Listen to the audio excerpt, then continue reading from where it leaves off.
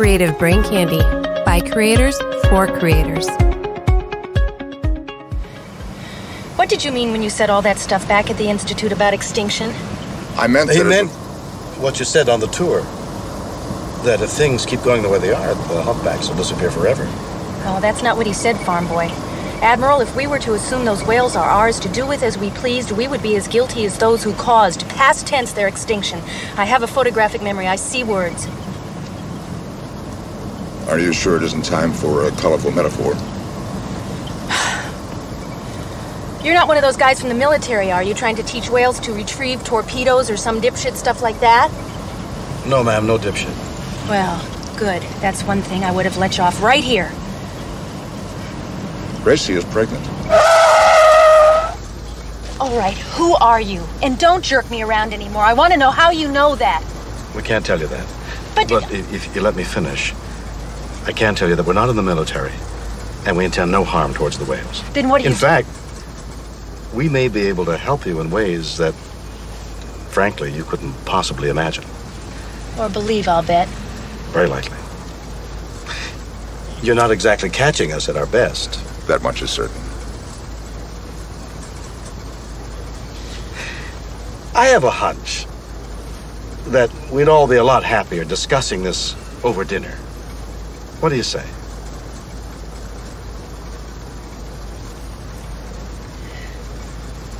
You guys like Italian? No. yes. yeah, no. No. Yes. No. Yes. I love Italian. And so do you. Yes.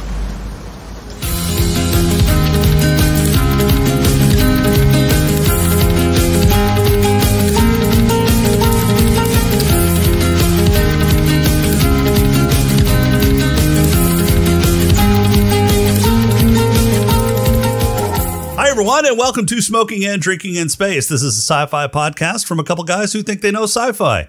And this week, we continue the summer of Star Trek as we get sauced and watch the movie that ended communism in the Soviet Union.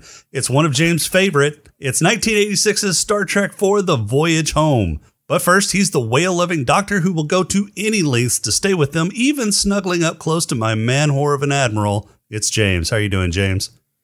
Yeah, double dumbass on both of you. And he's the guy who strips down to his skivvies to hug whales. It's Rob. How are you doing, Rob? Uh, I'm so glad you did God. that. God, you're you're such a dumbass. We're off to to podcast soil. Yep. Starting low, we can only go down from here, right? That's right. sure, sure. James, what's happening around CBC? Man, I'll tell you what, the big news this week around CBC, I mean, you know, we got all the great shows. We've got Drunkenomics. We got Simply Stokies. We've got uh, this thing that we put out every week.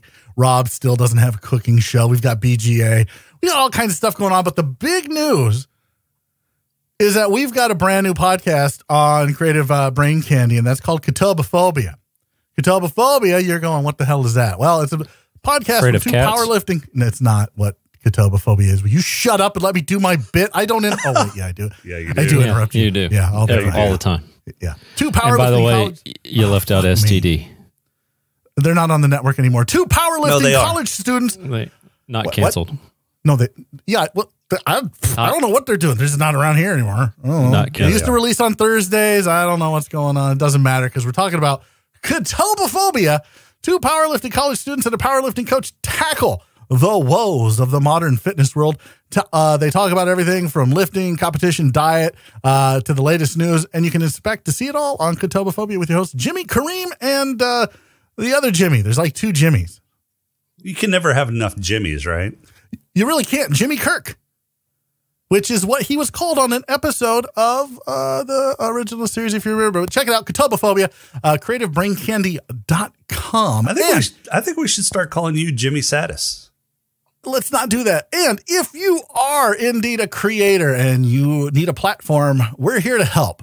Uh, if you go to creativebraincandy.com and you click that apply button, whether it's podcast, blog, vlog, uh, cartoons, uh, doodles of Rob's uh, micro penis, whatever it is, we can help you uh, Thanks, get Jimmy. a platform. You're very welcome there, micro penis Rob. Uh, hit that apply button, creativebraincandy.com, and Catobophobia, welcome to the shit show known as Creative Brain Candy.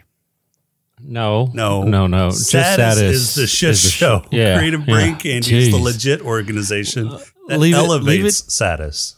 Yeah, I'm leave it to sure Jimmy to be like totally messed up. Look, micro dick Rob. I'm not sure that that's accurate. That I have a micro dick. You're right. That is not accurate. That's not what. All right, that's- thanks, that's Jimmy not- SaDiS. Uh, Robbie No, no, SaDiS, what's hate you going? so much. Do you have any news for us this week?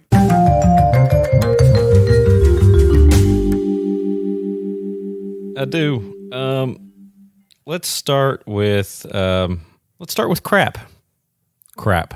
Crap, is in Yeah, like crap. shit or No, no, I'm just I'm just starting with crap because that's the headline of this particular article. It says crap. Uh, I reported, you know, way back when it seemed like forever ago. I don't Wait, know wait, when wait, it wait, wait, wait. What do you mean you reported? I did. I read it. Are you a to you guys. all of a sudden? Yes, I read it to you guys. Therefore, I reported it to all our listeners. So you just read it, like just Mhm. okay. So say you read it, you didn't report it. You just I read did. What I somebody reported else reported. it. That's not I reported reporting it to works. you. You didn't realize not- that this had happened. I- you Anyway, know so we talked about the fact that the mole up on uh, Mars got stuck, and they had to hit it with a ha- with a the the arm mm-hmm. yeah, they, to get yeah. it unstick Right. unstuck. Yeah, they did the Armageddon thing. Yeah, yeah. They they hit another obstacle and it's stuck again. Did they hit it with a hammer again? Uh, no, actually, they're going to have to bury it. Um, apparently, you know, this Mars soil is way too loose and uh, the mole can't do shit. And so it's gotten stuck again, can't create enough friction. So, and even with like pushing down on it with, uh, they've been pushing with the arm to like, you know, help it down. Um, can't create enough friction, so they need to fill the hole back up and uh, behind the mole, and you know hope that there's more friction there when they push down on it. So that's kind of funny. I don't think that's funny at all. It is. It's funny that this mole has like gotten stuck so many times. It's Poor funny guy. that It's the on a- mole can't dig. Yeah, the mole can't dig. Oh my god! Yeah. All right. So how much how much money did we spend on this mole to to to explore Mars? Look, I didn't go into those types of Oh, uh, oh, details. so you didn't actually do any reporting, any journalism. No, No, I didn't do any research. from It's Rob. research free zone. Research free. It's, Yes. it's something Unless free. it's on a the podcast fly. gold free zone too. Yeah. So, uh, back in March is when they hit it with a with a hammer or Yeah, the shovel. no, I, yeah, no, I remember you reporting on it. Oh my god! Yeah. Oh, good. You do. Awesome. Thanks.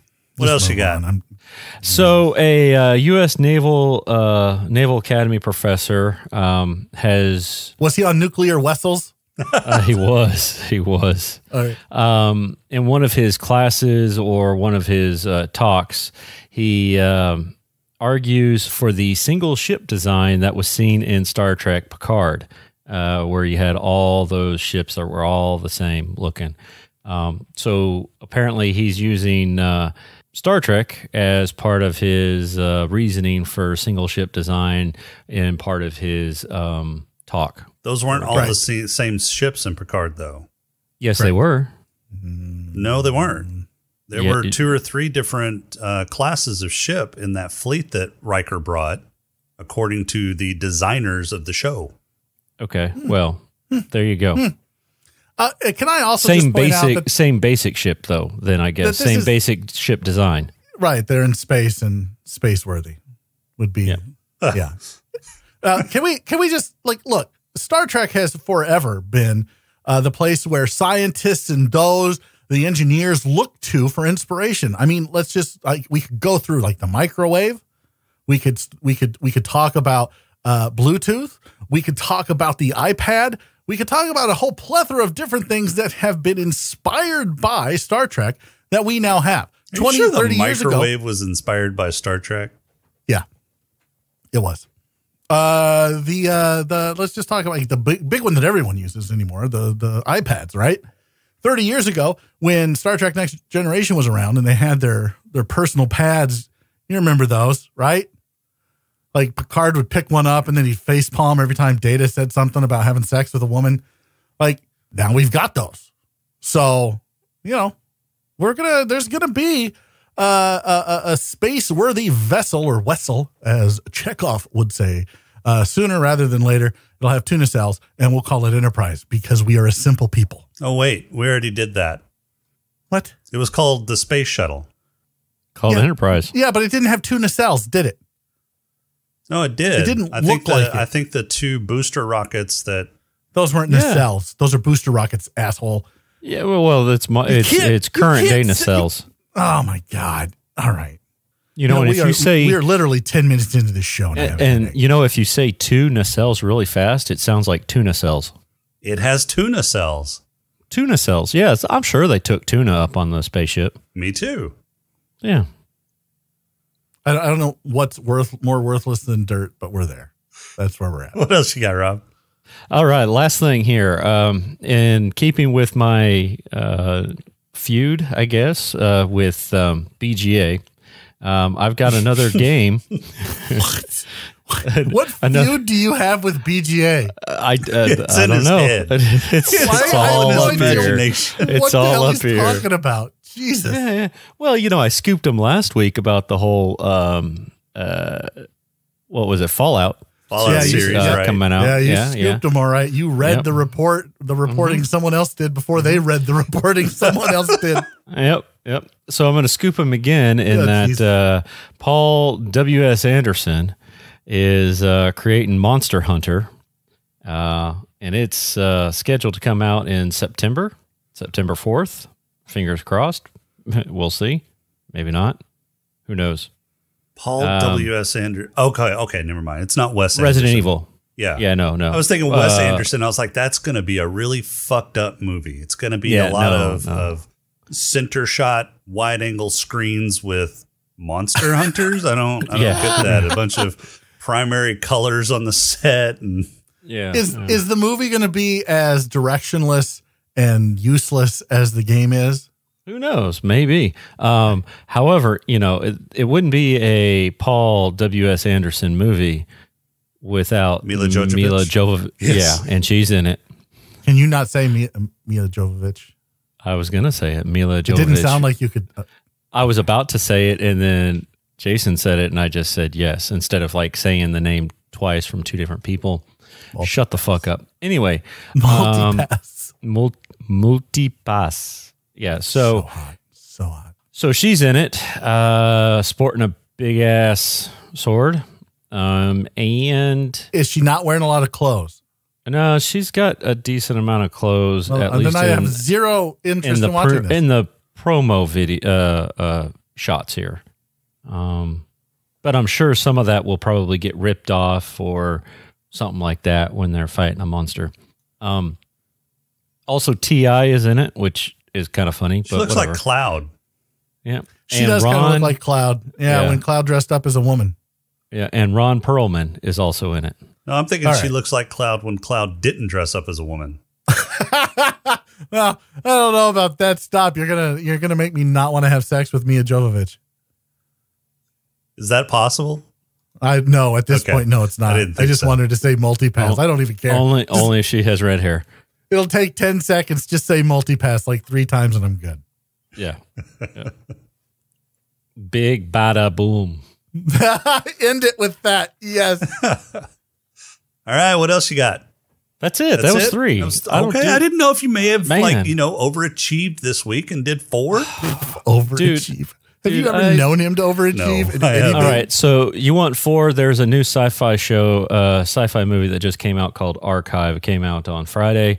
Looks kind of interesting. Go take a look at it. You gonna tell us anything about it, or just No, Nope. Nope. just nope. interesting? Of His name is No, it's Archive. Go check it out. it's This it's is called, the kind of reporting we get. it's This called when he Archive. actually does reporting. It This is involves robots. Um, It involves kind of- robots. wow. it's kind of uh, reminiscent. It looks like of like uh, what was it, Replicant? Oh, so you It haven't actually like- seen it? No, I haven't you seen it. Have you watched a, uh, like a, a, But you're a synopsis recommending of it. it? Yeah, I, I read a synopsis. I looked at the trailer. It looks pretty good. It has right now a 67 on Rotten Tomatoes with only 15, uh, 15 um, reviews. You know what else? So only had, 15 uh, people a have watched decent this. premise and looked pretty good, and the trailers were really cool. Uh, Star Trek 4. No, No. no, that that Will Smith failure where he Gemini played, Man? No, on Netflix. Um, oh fuck! Uh, what, what was that? After guy? Earth. Oh, well, yeah, that. Was, I know what that it was is. Shit too. Um, um, I know what it is. I'm waiting for you to figure it out, Oh, Fuck though. you. I, um, That- Wild Wild yeah. West. It was. yeah, that's one too. Men, Men in Black. What you're telling me, Rob, is that this this this Shark new Tale. ar- what's the name of this stupid show you're talking about? Archive. Archive. The Archive. You're telling me that So- Archive is so good that only 15 people have reviewed it on Rotten Tomatoes. It came out on Friday, and it's video. It's on demand type of deal. And Come out on. of those 15 people, Only two thirds like it. right? Okay. It looks interesting. Okay. Shut up. Yeah. That's why I didn't go with it. The print, the the the newsworthiness of that was pretty weak. But no, Jason had to uh, bring it up, and he still hasn't gonna- figured out the name of that movie. There it is. Yeah, it is. How long did it take you to research that? Well, I'm just going to be honest. Like the news segment as a whole hasn't really been all that strong.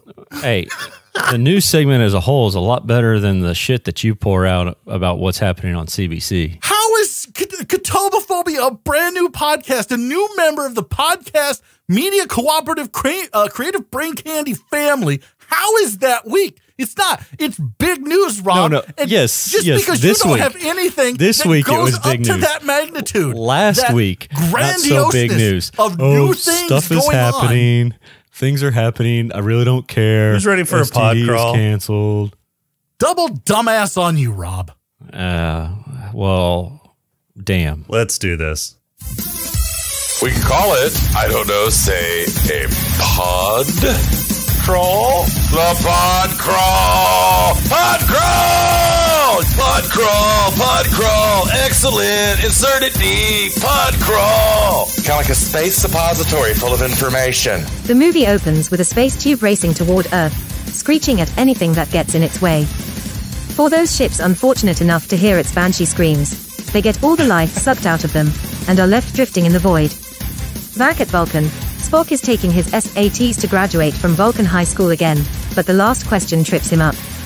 His mom reassures him that she still loves her little boy even if he didn't get a perfect score on his test.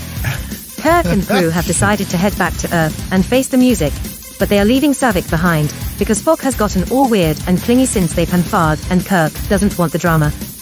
As they head back in their pirated bird of prey, they are surprised when they don't see any patrols along the way. The comms channels are overloaded with buzz about a giant space dildo fucking Earth, and there's an emergency broadcast signal that warns everyone to stay away. Earth is where Kirk keeps all his stuff, so he prefers it not be fucked. It seems the space shaft is looking for some humpbacks to hump, and won't stop serenading Earth until it can find a whale to swipe right on. But Earth hasn't had any humpbacks for a few hundred years. Kirk orders Spock to use his new brain to plot a course back to the past, so they can time travel back to the future with some horny humpbacks. Apparently, all you need to do is fly really fast around the sun, and you can go back in time. Take that, Superman. They arrive in 1986 San Francisco and land their cloaked ship in the middle of a park that nobody ever visits. The trip to the past has burned out their magic crystals. They need to find a couple of whales and also make a big fish tank in the cargo hold. Kirk and Spock head to a local aquarium where there just happens to be two adult whales, one of which is knocked up. Their caretaker is a little miffed at the weirdos who are plotting to take her whales, but comes around when she fears after their release they will find themselves in perfume bottles. Chekov and Uhura are taking a man on the street survey of where the best place to find nuclear vessels is, and Bones and Scott are creating a time paradox, securing some walls for their fish tank. Kirk turns on the charm and woos the whale doctor to tell them when their targets will be released and how to track them.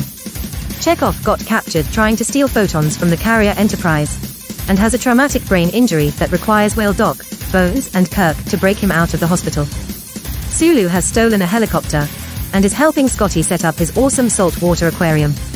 As they prep to leave, the whale doc, infatuated at this point with the manhole, gives him a big hug as he's beaming aboard. Kirk says, fuck it, and takes her with him to get the whales and head back to the future. After scaring the shit out of a whaling boat, they beam aboard the whales and make a trip around the sun again. Back in the 23rd century, they crash back in San Francisco Bay and release the whales, who then offer up their ass to their space dildo god. Satisfied, the space shaft leaves Earth and turns back on all the lights as it goes. Kirk and crew head to a Federation Council meeting where they are charged with doing a bunch of bad shit, and then subsequently acquitted after pleading guilty. All except Kirk. He's convicted of being Kirk, demoted to captain, and given a ship to command, ruining his life forever. Kirk and crew head out to their new assignment, teasing a command of the new Excelsior, but ultimately finding the new Enterprise A, and roll Kirk heading back to where no man has gone before. Credits. All right. Hey. So Wait, wait, wait, wait. Don't bury the lead. Sorry. Who's the new hottie? Who's the new hottie reading shit? I I kind just uh, trying out a, a new reader, uh, seeing how that Yeah. uh, seeing that how how that works out. Hey, baby. Yeah, yeah, How you like her? Yeah. Does she have pics? I'm not sending you her pics. ASL, ASL, baby, ASL. Yeah, ASL. ASL. Uh, no, because you know we almost got sued last time you stalked one of What? our readers. Hey, You like, you Hey. like the party? what happens in Russia stays in Russia. Obviously not. All right, so we're on number four of the Star Trek movies. This is probably uh, one of the lightest movies that we've we've well, it's definitely the lightest movie that we've seen Yes. so far. Um, which is a nice break from the really heavy Are you? and dark. well, it's because most of it happened during the day. Most of the action happened during the day. I, I, Rob, on a planet. I cannot, I Not cannot in stress space. this enough. How Space much is I cold and dark. Like you. I got a level that I wasn't sure was possible until I've podcasted with you this long. I, you are not my favorite person. hey, I feel the same. You're not your favorite person. No, he's not my favorite person. it's, Oh, it's reciprocal. I appreciate the clarification. I was Yeah, confused yeah, for a yeah, yeah. moment and thought maybe you were self-loathing. no, no, you just. Uh, no, I'm pretty sure you are, but that's all right. No. Oh my god. Um, so I, this is one of my favorite Star Trek movies. Ah, it's just fun. I mean, it's it is fun. It- it's it a doesn't fun take ride itself- for fifty percent. Oh my god, it does. it does not take And I- itself too seriously. It does. It does. For half the movie. And then the other half is fantastic. It's just this fun, stupid ride that literally makes no sense in certain places. Like, I, I, did you watch this sober or drunk? Because you're on like this bender right now. See, I so thought I'm- that too. yeah, I, I, I, was. I mean, it was 50 50 whether he was going to show up for today. I know, right? I, I wasn't We sure we were- were going to have a pod crawl. We were very prepared to do a two man show. Yeah, Rob and I had discussed it beforehand. We were we were good to go without you. Yep. oh well, let's let's make that a regular thing. Um, sure. you still have to edit it, though. Yeah, you still got to edit it and do the pod crawl. nope, nope. You got to edit it. Insert the pod crawl. Oh, Put some I canned was laughing in there. half sober whenever I watch this. okay, well that makes sense then because half this movie sober. is dumb. Which which which way? Uh, half sober. Were you on the coming coming off or No, I was going in. ramping up? I was ramping up. Okay, yeah. You were So by the end of the ramping up. movie, you're like, "Fuck it, world, I love it." this movie's dumb. It's let's just start with the premise of the movie. The premise of the movie is because man is bad and has hunted the humpback whale to extinction, that suddenly there is a probe like 300 years in the future from some unknown place hundreds of light years away. They don't know where it is. They don't know why it's coming. I have no idea. Uh, It's there to talk to the whales. So that begs the Uh, question who sent it? Why did they send it? And then, like, what was its purpose? Does like, what does it seem does it seem really familiar to something we watched? It does. I'm trying ago? to remember. Yeah, V'ger. Except V- that V- they actually explained what it was. This they never did. They never said, "Hey, there's an alien humpback race that populated humpback whales throughout the universe, and Earth was one of." No, it was none of that, which is far fetched to begin with. But there was just nah, this fuck it. There's just this dildo in space, which is what it looks like. It looks like a fucking I don't even know California roll or a fucking I don't even know. It's just stupid wet cylindrical dildo with a fucking little ball that comes out the end. It's like stupid, and it it's there to talk to the whales, but we never find out why. We never find out what the whales say back. We never find out who this alien race. There's nothing. It's just stupid. The premise is dumb. and it's also recycled from the uh, motion picture. Kind of, yeah. Okay, as long as we're all on the same page and we start there, I think we can move forward with why this movie is half good and half bad. I yeah, I'll agree. They didn't explain, you know, where the probe came from, why it was there, or where it went afterward. Yeah, I'll- just the I'll- I'll ball went certainly agree with inside of it. The That ball went just- up inside of it like it does with Rob Maybe whenever he sees a woman. maybe it just got cold. I don't know. Cold. and then it went away, and everybody was happy. In fact, Spock laughed. Spock was laughing. That's how happy he was, because that happens a lot for Spock. He's exploring his newly found human side. If you remember correctly from an episode, uh, the uh, original series, if he laughs or shows emotion, it will kill him. It will not kill him. It, it will if he does if it does too much. But they were having so much fun that they were frolicking in the water of the uh, the bay, the San Francisco Bay. Yes. Well, or a, a, a swimming pool on the Paramount parking lot, but one or the other. One or the other. Yeah, whatever. They were frolicking. There was frolic being had, sir. And it was a it was a fun way to end that scene. I thought it was. Sure. No, yeah. No. This was a yeah. Fun, lighthearted movie, and one that I just I like. Especially It's after not two, perfect. Don't get me wrong. Super It not. is far from No, it perfect, is not perfect. and it is not all. my favorite Star Trek film. I will say this. I think it's. I mean, we'll get to this later. I'm sure somebody will ask, but I, it's better than three, and it's better than five. Oh yeah, yeah, absolutely. Yeah. But it's still pretty weak overall compared to what we've watched so f- like even to, compared to what we've three, it's pretty weak. It's very weak on the premise, on some of the things that happen in the movie just don't make any sense whatsoever. Like what? It's just okay. So as as they're they're uh, coming back from the hospital, right? Uh huh. They get beamed not onto the ship, but they get beamed outside of the ship, and then the ramp comes down, which doesn't make any sense to begin with. And then Chekov and Scotty and and Bones and whoever else was there, Sulu was helping them in. They all go in, and the only two that stay outside are Kirk and the mom from Seventh Heaven. Right. Okay. And then the ramp closes. Instead of Kirk saying, okay, goodbye, stay here, and he walks up the ramp, the ramp closes, and then he has himself literally beamed 20 feet into the ship just so she could jump on him. he's he's too good to walk up the ramp. They Oh were having a moment. No. He was No. Oh my God. That's so dumb. It's the dumbest fucking thing I've ever, like, just he's too good to walk up a beam ship them ramp. onto the ship. Everybody walks off the pad except her, and then you beam her um, somewhere else. Like it's an easy fix. It's just poor writing. It's shitty writing. It is just uh, nonsensical, and it drove me insane as I'm watching. I'm going, how did I never fucking see this before? It's dumb.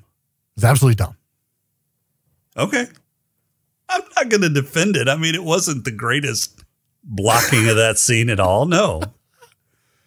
Oh my god, so dumb. Uh, and then, like, look, this was virtue signaling and social justice Oh, warrioring. good God, here we go. Before there was virtual signaling and social justice warrioring. Like, look, I am all for like, let's not hunt shit to extinction. Let's like be good stewards of the planet. I get like, but seriously, like this was just a fucking. The, how much did Save the Whales pay for this kind of fucking exposure? They didn't. I don't believe you. They didn't. This was Then uh this who, was who on the this cast had conce- a hard on for Save the Whales? This was conceived by uh Harve Bennett and I want to say Leonard Nimoy. All right, well Yep. that, there you go. Those are the Yep. two that had the hard on for fucking Save the Whales. But there were a lot of people at that time who had a hard on for Save the Whales because the humpback whales were getting hunted into extinction. Well, they're not good. now. They're good now. Yeah, Well, they're they're better. They're better. They're because fine. of because of and I'm you Uh, might if you say, say the- Star the- Trek Four, I swear to fuck, you I will might find say you. because of some of the efforts of films like Star Trek 4 I, fi- I that's it. I'm on my way. I am leaving right now. Bye. Where's he going? He's coming over to like kick your ass. Is that what he said? I don't know, maybe. Uh, he's breaking up quite a bit. So He left. Woo! Who knew? Who knew that's how we got him to leave? I'm back. Oh, I decided not to come God find you right now because we're because podcasting. But once you, this you is over, well no no no no no no no be be honest. You decided not to go because that required you leaving your house. Oh yeah, yeah, fucking that. Yeah, I've already left the house once this this week. All right, and I'm afraid I've got the Rona. So I like, mm, I'm not leaving for a while. And again, um, no. yeah. So the humpbacks are back up to eighty thousand. So Yeah, they're fine. Absolutely fine. Like now, Star Trek Four is just fantasy. It's not even science fiction anymore. Is is eighty thousand a, a good number for the population? I don't. I don't know. well, considering it was at ten thousand before. Well, yeah. you I mean, want that's, them at, that's eight you want them at times the three amount, You want three million humpback whales running around the ocean willy nilly doing whatever they want? No, I don't think you do. I, yeah, actually, I want to see humpback whales run. To turn a phrase, Spock. double dumbass. Well, that's just that's Right. just illogical. I think that this movie is is has a faulty premise. I think it has a weak, weak, weak premise at the very minimum. I think that it's preachy half the time, but the other half that it's not preachy, like it is a fun ride. It is. there were there were fun. two spots where you know they explained where the whale or what was happening to the whales and why and how it could affect the future.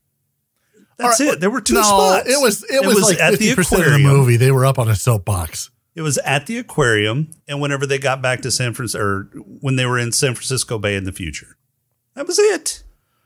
It felt like half the movie. Okay. And can we talk about the unhealthy relationship that this seventh heaventh mom has with these whales? Uh, she seems a little obsessed. She needs to get some A little bit. some people friends that she can talk to. Yeah, talk But- about stalkerish. But she's their mommy. Oh my god. Mm. I mean, I can understand she's a she's a whale scientist, so this is you know something that she's devoted her life to studying. But yeah, That's slapping high your up on the list of scientists that you don't want to be. I'm just saying. hey, what do you do? I'm a scientist. Oh yeah, what kind of scientist are you? I'm a whale scientist. What? What? What'd you say? I couldn't. Could you speak up? I said I'm a whale scientist. well, that's not. Like, are you really a scientist? What kind of experiments are you doing on whales, there, buddy? So really, nobody thought that was funny. That was fucking hilarious. I'm mm-hmm. laughing on the inside right now. I'm trying not to laugh because I'm doing a podcast. So so I hate it's you. been three months, right? three months since Star Trek three to four. They they kind of said that they've been in exile for about three months or so. Did they think it was a good idea to like, hey, we stole a ship and left Starfleet in one set of clothes. Maybe we should come back in the same set. well, then they'd look like Vulcans, and nobody wants that. Yeah, right. Did you see what Spock was wearing? Yeah. For Christ's sake. Uh, Look, just because Spock was wearing his bathrobe with uh, balloon animal sleeves doesn't mean that that's what everything looks like. Oh, did you see Sarek? I mean, did you Yeah, see Sarek Sarek's was outfit? wearing the same thing. Yeah, it's right? Sarek- So was his Sarek- mom, Sarek and his wasn't leaving. Human. yeah, Yeah, only hers was a little lighter I'm not- and more gossamery. It looked like a fucking. Well, then you she was a Disney princess. well, and you got Saavik too. I'm not going with you, but I'm going to keep wearing my uniform. She's in Starfleet. Eh, but well, she if she's in didn't wanna go Starfleet, why did why did she go back? Like, why is she like that? Well, would well, you want to the go back to reason- here in Starfleet on a ship full of criminals? Actually, the reason why she didn't go back is originally she was supposed to have Spock's baby in her in her belly. and Eh, it that was a rumor, Right. and it's been ne- it's never been Uh, confirmed. Well, it wasn't confirmed because after this, her career took off. I guess you're being facetious. no, I couldn't keep a straight face. No, she didn't do shit after this. Like seriously, like she's just like they're like, hey, you're replacing Kirstie Alley. She's like, sweet, my career's gonna be awesome. What am I gonna do? Like I don't know, like a movie and a half. Not even a half, like a movie and a tenth. Maybe not even No. a tenth. Maybe like an eighteen. No, it was it was a movie in two minutes. Yeah, she had what four lines? That'd be a movie and a thirtieth. Ori- Originally, she was intended to remain behind on Vulcan because she was pregnant after she had mated with the younger Spock. Yeah. Well, I think look, I I'll be think originally I think- she was supposed to be back, or the the character Saavik was supposed to be back in six. Um, as Uh, but but her uh, yeah her career didn't go anywhere and she got into real estate. Look, well, and I don't but- think they wanted Saavik to end up being a traitor to the Federation. probably not, uh, because they had Kim Cattrall do that, which I'm way okay with. Also, Kim Cattrall at that point was hotter than Robin Curtis. I'm just saying. Yeah. Anyway, yeah, I'll give you that. Thank you. Uh, I think having Spock have a child would have changed the character probably for the better. So you saw at the end of this movie that Sarek and Spock's relationship was strained, and that was further uh, explored in a, in a next generation episode where Picard had to mind meld with Sarek because Sarek was old and he had this disease from mind melding too much. Uh, and So he going had the mind meld to fix the mind meld disease. yeah, yeah, it was some kind of neurological disorder where he was like he was feeling emotions It and was emotions Vulcan's were coming Alzheimer's, is what it was. Yeah, basically Vulcan's You know, Alzheimer's. but Tuvok had that too, didn't he? no, uh, mind melding with He had Picard. something like that.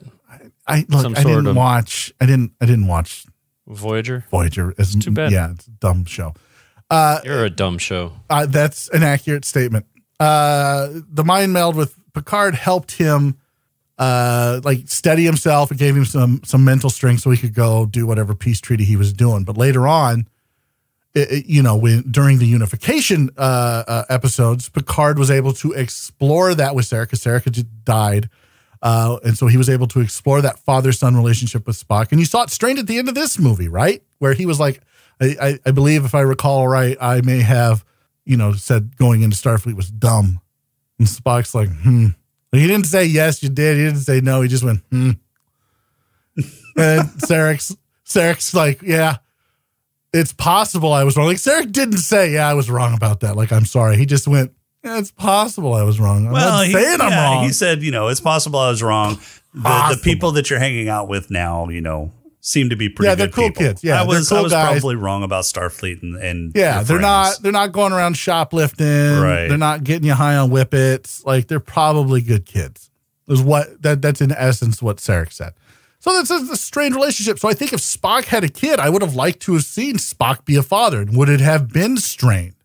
Because now this kid, is he going to resent him because he's a quarter human?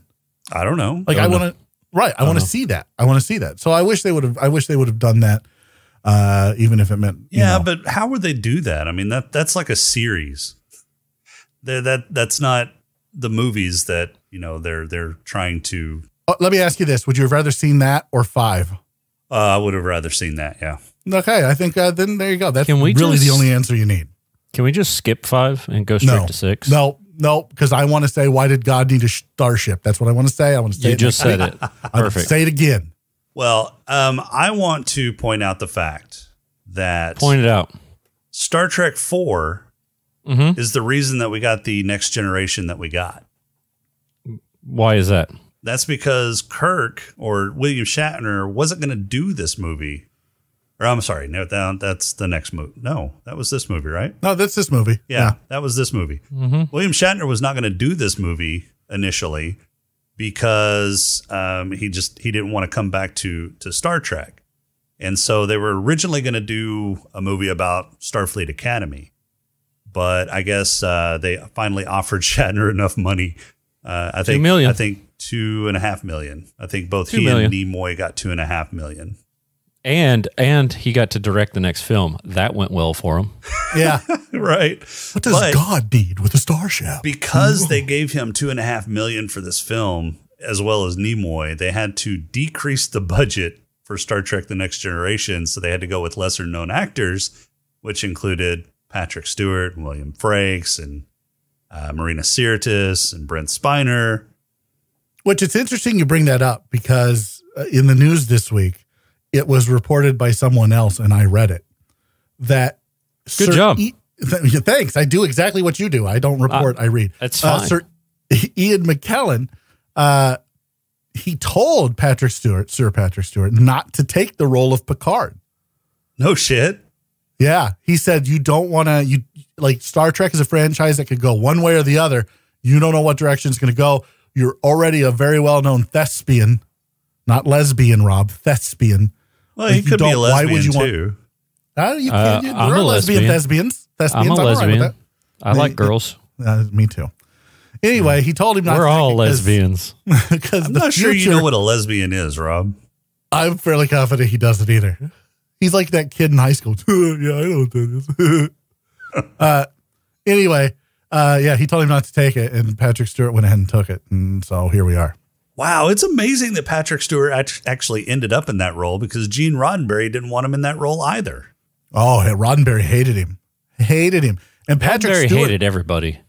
Patrick Stewart butted heads with people uh, all the time, and he he. There was a story I think I've talked about on this podcast before where he basically he was asking for more money because I'm a big actor, right? And he was.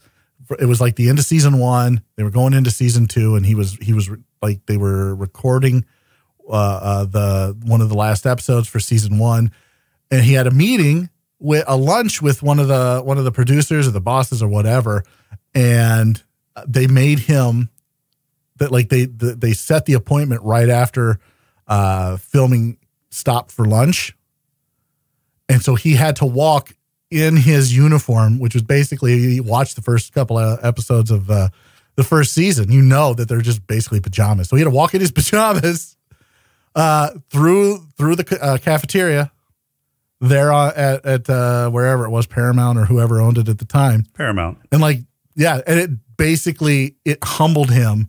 And at that point, he realized he's like, they can do whatever they want. So if I want to keep doing this, I'm going to have to play ball. Right. So Patrick Stewart a couple of times may not have been uh, Captain Picard, but I'm glad that he is, uh, and I'm glad he didn't. You know, he wasn't in Star Trek Five. Yeah, me too. so Spock is back on the ship and back into engineering, teaching Scotty how to do shit. That's not. That's not. That's not necessarily accurate. What are you all. talking about? It's not necessarily accurate. He was the one showing Scotty how to fucking recrystallize the dilithium crystals. Maybe, but Scotty knew how Oh, to make transparent maybe. aluminum. Which is You weird know- because because in Discovery they already figured that out, or a race has figured that out uh, on the uh, What? d- What? dilithium crystals. How to reconstitute dilithium crystals in Discovery. Another alien race has figured it out. Man, you guys suck. Move on. Yeah, but this was before that. I don't give a fuck what Discovery tries to retcon. Mm. Okay, Because is a shit show. Moving on. you're a shit show. Rob gets so Like a- defensive. This might be the best episode we've ever done, guys. it is. It's the best Star Trek we've had. Um, No, it's got, this is going to be number one for everybody after we redo our uh, ranking system. Scotty. The only thing he's done is make a fucking aquarium in a ship. Okay, well, have you ever tried to make a saltwater aquarium? It kind of sucks. No, And he I did haven't. it- Yeah, it's not. It's not the easiest process in the world, and not only that, he did it like Without Spock, you're right. That that is an achievement for Scotty. th- that is exactly right. And What he knew about transparent aluminum. So so the dude that basically they're six inch pieces of plastic, right? Six inch thick, right? Right. It's plexiglass. Yeah. Plexiglass, yeah. Um, they're sliding it into these Well, no, bulkheads th- or they were sliding in transparent aluminum. That's the whole reason No. Scotty gave him. No, No, no, no, no, no, no, no, no, no, no, no. He couldn't No, make that it right away. Yeah, He's like, it's going to take sure? years to go through the. Yeah, man, he's like, it's going to you should have watched this thing sober Right. because by that Because I thought that you- too. I, I, I remembered it as it was transparent aluminum. No, it was six inch pieces of plexiglass. Right, right. Uh, because the whole thing was, are you sure you want to give him the thing? And Scotty's like, well, how do we know he didn't develop it in the first place? So, Yeah. um, so yeah, they did. No, it was six they, inch. They basically plexiglass. created a fucking paradox, is what they did. right. Okay. Welcome to Star Trek. Thanks for playing. Par- paradoxes are like changing your underwear in Star Trek. Um, so, so you've got these one, you've got these uh, six inch pieces of plexiglass that apparently Sulu is awesome at uh, helicopter piloting um, because can he can that. slide it because he Yeah, can I- slide not- it right in. Okay. Um, Look, number one, just stop. I think it, he's a pilot. Yes, First and foremost, he's a pilot. And so where- obviously how- he's a history buff. He knew exactly what model of helicopter that was. okay, great, perfect. Okay. He Super. didn't exactly know where the windshield wiper was, but he figured that out really quick. really Right. quick. Yeah, yeah. The history books Um, aren't always right. Hmm. Anyway, so so they're sliding this thing in. There was one scene where you saw Bones and Scotty welding, you know, there was light, welding light, like spark type stuff. Yeah. What was he welding? Probably brackets for the plexiglass. Yeah, yeah. Duh. so? Yeah. Yeah. Okay. What did you think it Securing was? bra- Because if you notice, those plexiglass uh, windows had Did big you- holes in the tops and bottoms for support. That's Is how that you what lock you them into focused place. Is Okay. him him welding plexiglass? You're like, why is he welding plexiglass? That doesn't make any sense. Uh, Yeah, I was. It was Although little it would make sense if it was transparent aluminum. If, if is that wait, out of all the shit that's wrong in this movie, that's what you that's Oh, what no. you honed in on. Okay. No, no, no, no, no. The other thing that I honed in was that it was very convenient, yet again, that uh, there was cameras out in space to capture the Enterprise blowing up. Yeah. Yeah, it was very Yeah, the convenient. sensors you, are- you know, the sensors have a those direct Klingon. Well, and it always seems to be when Klingons are are involved, right? So, so oh my we- god, can we talk about the Klingon at the beginning of the movie? What Dude, a he was- giant douche nozzle. I Oh, yeah, denied nothing. what? Okay. Great. Why are you here? Why are you here again, Buddy? Oh, I love how Sarek just dressed him down. Oh yeah, but Sarek does it such like he's the he is the atypical Vulcan.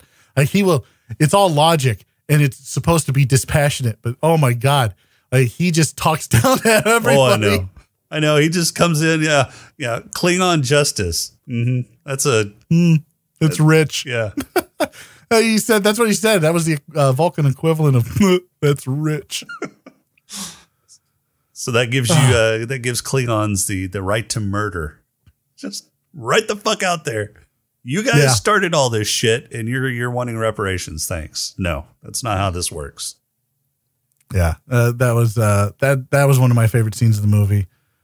I liked how like so again. I was with Admiral Cartwright, Sisko's dad. I love how Star Trek reuses actors. love it. I really do. I don't mind it. I think it's great. Um, but he, Sisko's dad in DS9. Because I kept waiting for Admiral Cartwright to be like, "You want some gumbo?" Yeah, Uh, that was that was later. Yeah.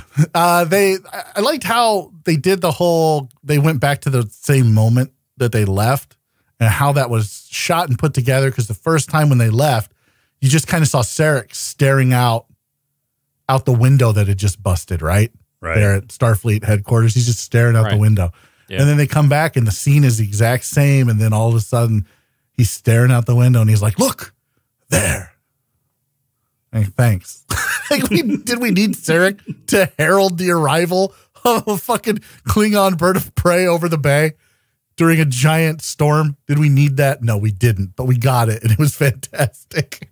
And those poor maintenance workers, man, they just, you know, they had a 50 50 chance of picking the right window to secure. Yeah, they- they yeah. picked the wrong fucking one. The other one blew in. You know, they're going to get them chewed down in the for that. process. Oh yeah, yeah. The- the Apparently, that wasn't transparent aluminum. No, that wasn't. That was plexiglass. Just wasn't thick enough. Yeah, Uh, I think So- my favorite part of the movie is when they're fumble fucking around San Francisco. All of them, like uh, like from Uhura and Chekov asking a cop where the oh my nuclear god, vessels that are. was one of my favorite scenes. Was Uhura and Chekov fucking asking where they could find the nuclear vessels? Can you imagine like, a dude with a fuck are you Russian fucking about?" accent in 1986 asking people at San Francisco where the fucking nuclear vessels was? I would be just like that fucking cop going, either I'm getting punked or this dude is the dumbest fucking Russian agent ever. Uh, they, there was punked back then. There was no punked. Well, candid Was there camera, candid whatever. camera? What- There you whatever, go, yeah. candid camera. The modern day Millennials are going. What's a what's a what's a candid camera? I don't know. I don't know what that is. See, I'm trying to uh I'm trying to relate to the kids. Is that what you're doing? No. Ashton Kutcher wasn't even a gleam in his daddy's eye in 80, 86. Was he not? How In old is- 86? Yeah, how old is Ashton Kutcher?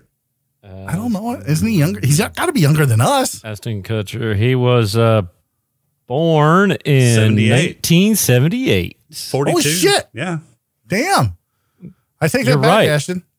You're right. He isn't a clean. He is He done is. real. Yeah, he's, yeah. No, he was born. Might have been a tear in his dad's eye at that point. Who knows? Most definitely. Well, he's from, he's from the town I live in. Cedar Yeah. Rapids, Yeah. Corn capital of the world. That's not the corn capital of the world, asshole. Oh, that's your backyard. I hate you so much, Rob. I really do. I really do. Anyway, they're all fumble fucking around. It's great. The scene on the on the uh on the bus where he he does the Vulcan nerve pinch on the the punk rocker who won't turn the boombox down. Yeah. Boombox, uh, millennials. A boombox was something that you was it was large. It had two large speakers on it. Typically a cassette player. In some instances, a record player. Weighed about Yeah. 25 fucking pounds, and half of that was in D batteries.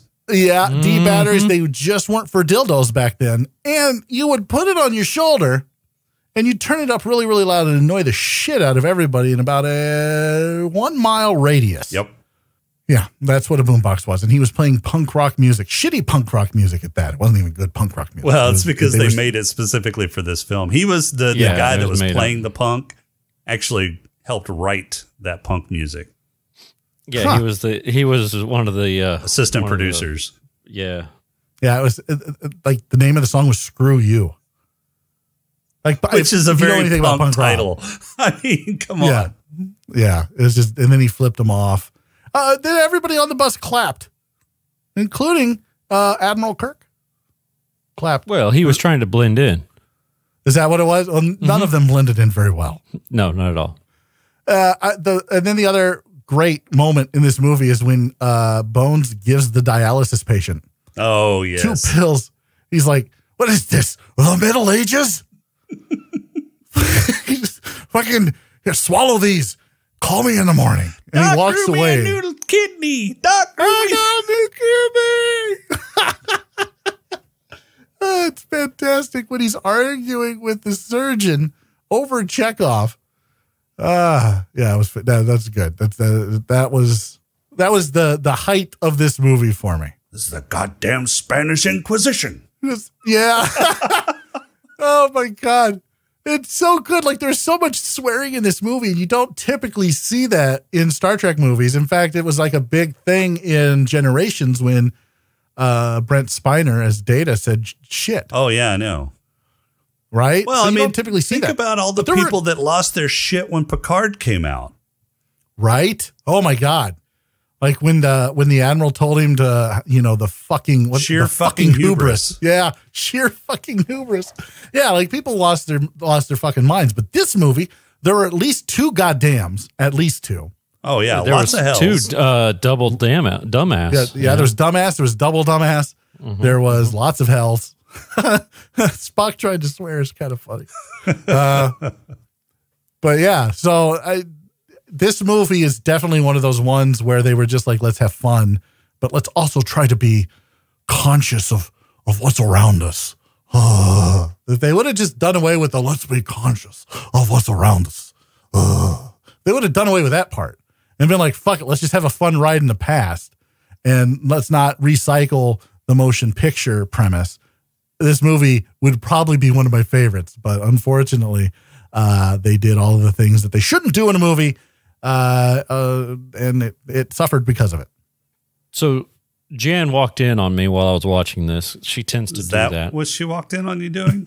Yeah, yeah. so she she walks in and I'm like, what the hell are you watching this time? But so she walks in when uh, Spock and her mom, or Spock and his mom, sorry, Spock and his mom are talking, and she go, she says, "Who's that?" And I said, "Oh, that's Spock's mom." He goes, "She's as old as Spock." so so that made me look because then I started questioning. I'm like, you know, they do. They look the same age. So I, I looked it up. Jane Wyatt, uh, who plays the mom, uh, at the time of filming was 76 years old. Spock is 55. Leonard Nimoy is 55. He looks terrible at 55. It's all the LDS he did. LDS, yeah, yes. all the LDS. All yes. those Latter day Saints that he did. yeah. Which I thought But- was hilarious. That's just foreshadowing in real life for Seventh Heaven. That's all that is. It's foreshadowing in real life for Seventh funny. Heaven. That's funny. I love Chekov whenever he gave himself the uh, the promotion. That was fun. Admiral. Right? Admiral. Admiral. Like I said, there's so many good, fun moments in this movie. Like the best guess thing.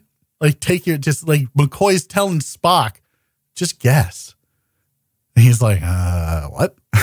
I don't, I don't know how to do that. Yeah. I don't know. Right. And then he tells Kirk, I, I'm just going to guess. And he's like, what? You Amazing. guess? That's extraordinary, Spock. And then he turns around and walks out. And Spock goes, what the fuck just happened? And Bones is like, he's saying your best guess is better than most people's facts. So it was a compliment. Yes, you idiot. Duh. And then the whole conversation between Bones and Spock about death was fantastic too. Bones is like, "What's death about? Tell me about death." And he's like, "Well, there's you don't have a frame of reference for it, so the conversation would be futile." Yeah. So I got to die like- in order to talk to you about death. What the fuck, man? It's so good. I I love those interactions. Again, you get off your soapbox and just tell a story. It's great. Like you can have those elements. but Fuck, don't like get rid of the megaphone and just tell me about it. You're And then too go on with the fucking man. movie. I'm not You're sensitive. so It's fucking it's- sensitive. So sensitive. I hate you both. So bad. I really do. I hate you both so much. Oh, was it just me, or did anybody else notice the disappointment in Kirk whenever the whale doctor left for her ship, and he didn't get to and he didn't get to nail her yet? He's like, wait a minute. Wait, I brought you back from Did the you not read the past just- script? yeah, I'm I'm, supposed to fuck you. Like my penis goes inside of you. Which She's which like- is Nah. Yeah, which is kind of interesting because they were eyeing Eddie Murphy for that role. I know. Originally, Eddie Murphy was supposed to be the scientist. Yeah. That would have been fantastic. yeah. I would have rather had Eddie Murphy than uh, Seventh oh Heaven Mom. no, no, no. Yes. And then I'd still want Kirk to hit on him. Well, maybe. Okay, Maybe. see? There it is. Because inevitably, you know Eddie Murphy's going to say it. He's going to say, you know, once you go black, you never go back. like, you know that's going to be, I just, I would like that in Star Trek canon. Well, he can. Uh, he could uh, cracked out that character that he did in Beverly Hills Cop Two. Oh, what did Axel he? what did Foley? he- huh? What's his, was, was his name no, no, Axel no, it was Foley? Axel Foley name of the song. playing like that interior decorator to get inside that bank, right? yes. Yeah. Yeah. I uh, haven't seen that movie in a long time. Yeah, I have no desire to watch it again. The Beverly Hills you Cop this- series was good. Yeah, I- it was. Yeah, it was all right. I, it was funny for sure. Do you think this movie stands up? Not to change the subject, because uh, whatever. You think this movie stands up?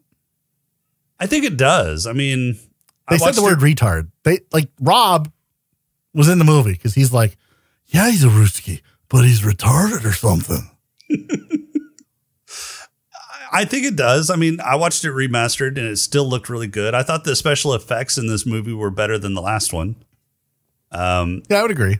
the, the I mean, there weren't a ton of special effects because most of them, most of the movie took place in in modern day or 1986 Earth, um, and most of the effects were practical. But I still think they they looked pretty good, even the even the space scenes. I don't know. I think millennials are going to be lost on a lot of things if they go to watch this. Like you know, yellow pages.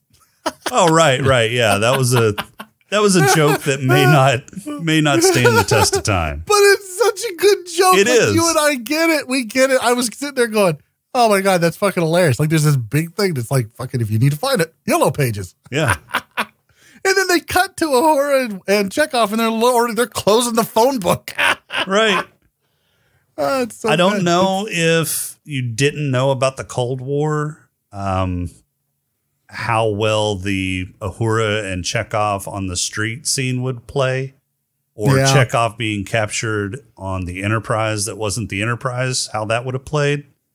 Yeah, that's true. Um, I mean, so there's some stuff that you know may not stand the test of time, but I think the jokes for the most part and the movie as a whole uh, stands up.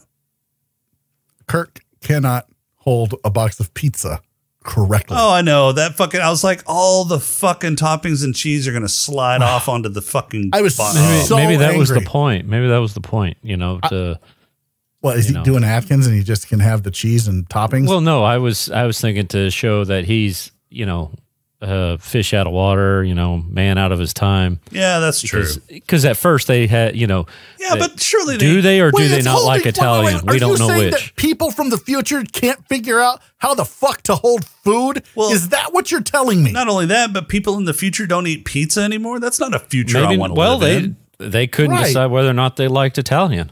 Well, wait, wait, wait. Remember the original series? They ate little foam fucking squares and circles and shit that came out of a microwave. Do you not remember that? They were like Rep- green and red. Yeah, I remember that. But Yeah. I mean, I figured that was just ship food. I, maybe. I don't know. Well, I, I don't know what they eat on Earth. They don't have money anymore. So uh, maybe they don't have food.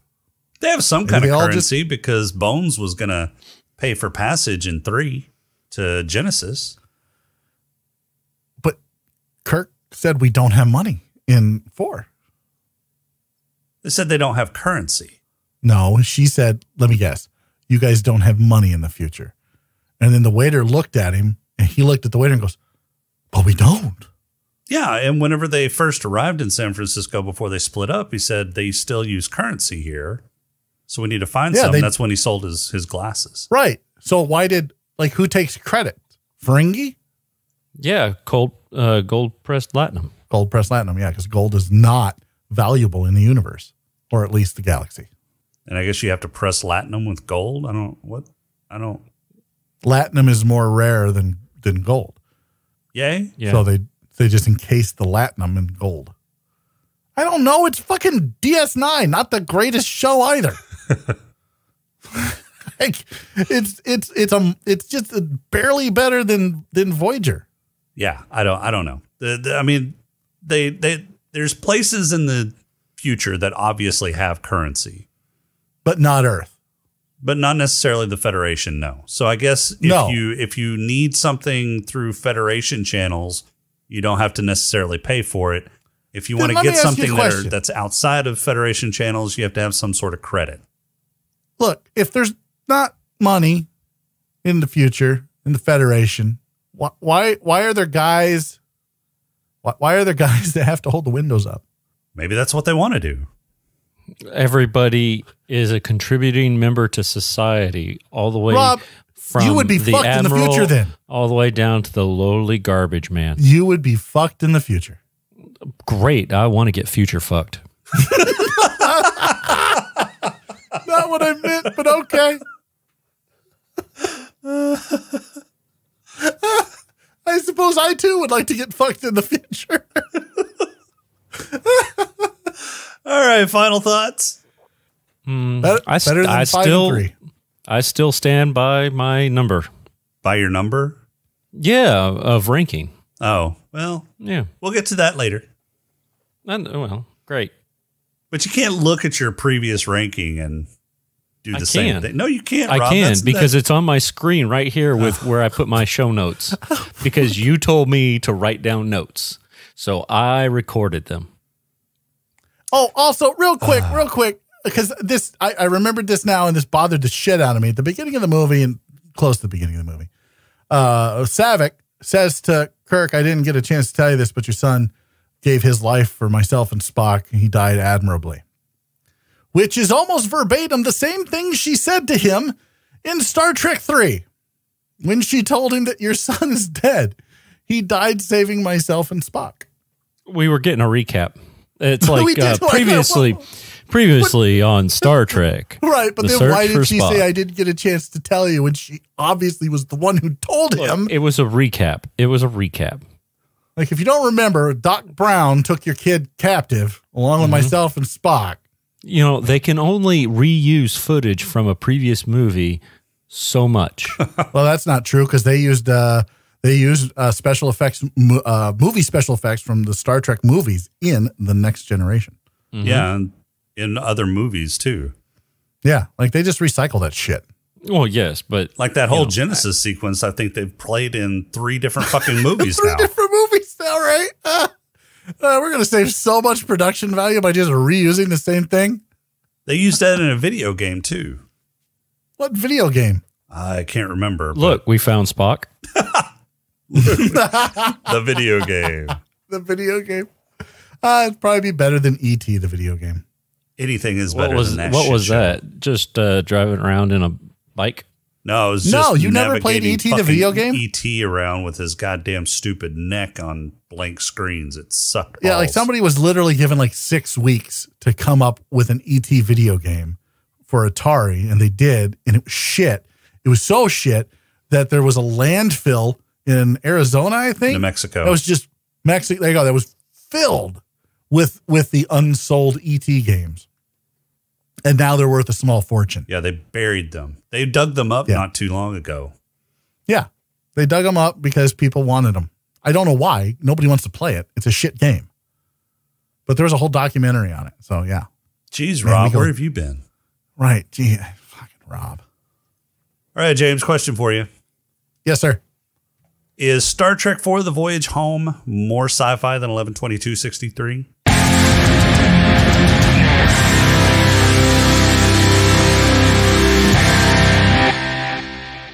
Cured kidney dialysis, which I don't even know what that is, but they cured it with a pill and not dialysis. So I don't think kidney dialysis is an actual disease. Well, it's kidney disease, some sort of kidney disease that she was getting dialysis for. yeah, that they did that. There was lasers. There was a cloaked ship. Uh, there were intelligent whales because that's that's just not a fucking thing.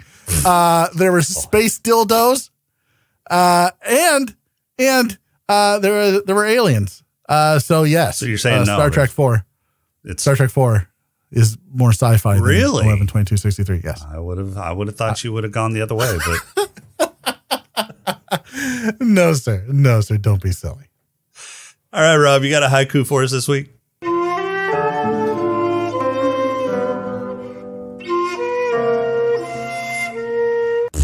I do. This one is titled Got Whales? Giant space dildo. No whales to answer the phone. Two words. Time travel. God. Yeah, I'm surprised you didn't have a bigger boner for this movie. I know. Well, the the the space dildo had the you know enough boner for everybody. That's true. Yeah. I mean, Yeah. It was a There long, be whales shaft. Yeah. There Well, be, there be whales. dildos here too. Har. Well, isn't that like a thing from the? Like, I, I don't know. What what is the HMS Bounty? Was that from uh, It's, uh, Moby Dick? ro- I don't know. I don't. I don't HMS read. No, the bounty wasn't. No, the Moby that's Dick. just that was just a call back to uh English Pirates of the Caribbean, English English ships. English ships. No, they talked about pirates and shit. Uh, HMS Bounty was a small merchant merchant vessel that the Royal Navy purchased. Yeah. I mean, that was a quick research on the fly. Um, That wasn't even research on the fly there, Micro. The- Like, you don't have to. So an it was, uh, American it adventure was, uh, rediscovered it in 1957. It was a merchant vessel the Royal Navy purchased for a botanical mission to the West Indies. The mission was never completed owing to a mutiny led by acting Lieutenant Fletcher Christian. Uh, it's popularly known as Mutiny on the Bounty. So it was a Right. it was a Right. ship So- that was that was this is why. Look, this is why when when Jason does research on the fly, you hear a thunk, and when you do research on the fly, we should just hear giggles. you hear him go blah, blah, blah, blah. I know, Yeah, but it just yeah. it should just be like it should just be like women going hee hee hee hee micro dick.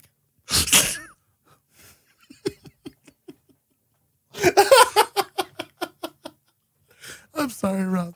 oh, but We'll see you really. next week. That's all we got time for today. Our intro and outro music is Welcome Home by Machette.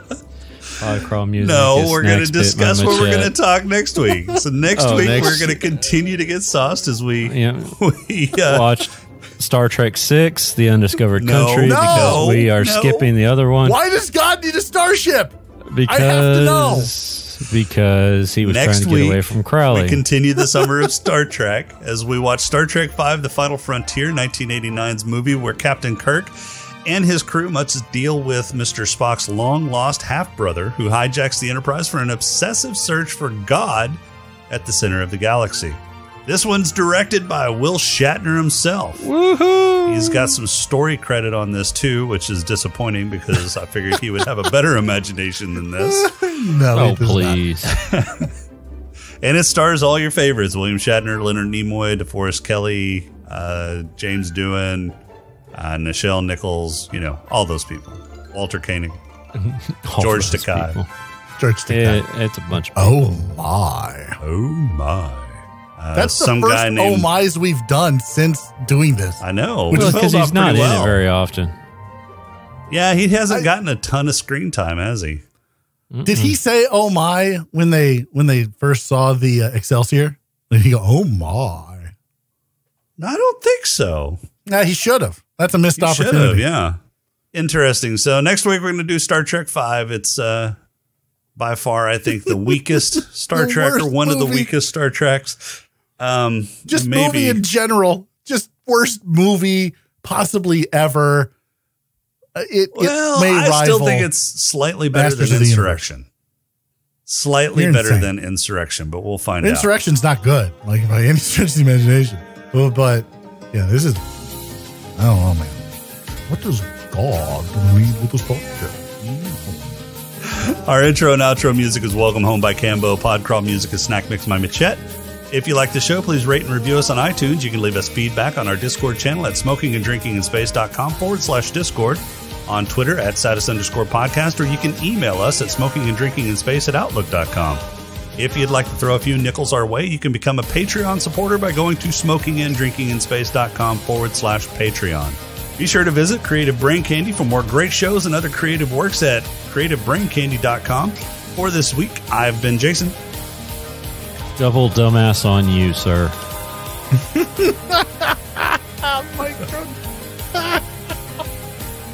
And we'll talk to you next week.